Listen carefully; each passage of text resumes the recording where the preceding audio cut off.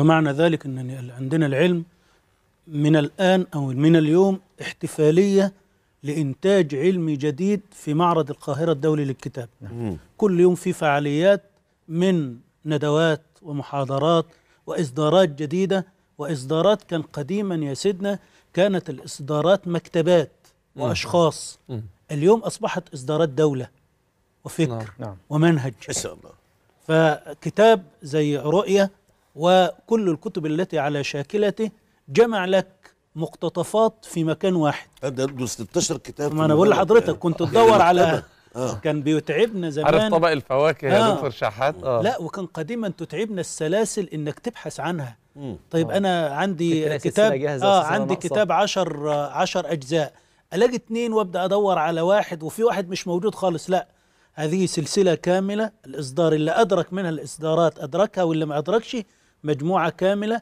في مكان واحد وبعدين النهارده فرصة فضلت قلت إن في النهارده لقاء. نعم. فالنهاردة فرصة أن تتعرف إلى الكتاب والكاتب. الله الله الله. أنا أشوف مين اللي كتب ده؟ آه. طب أنا قرأت الكتاب وبعدين توقف عندي أمر. طب ما أنت عندك احتفالية النهارده روح للكاتب قول له ماذا كنت تقصد بهذه؟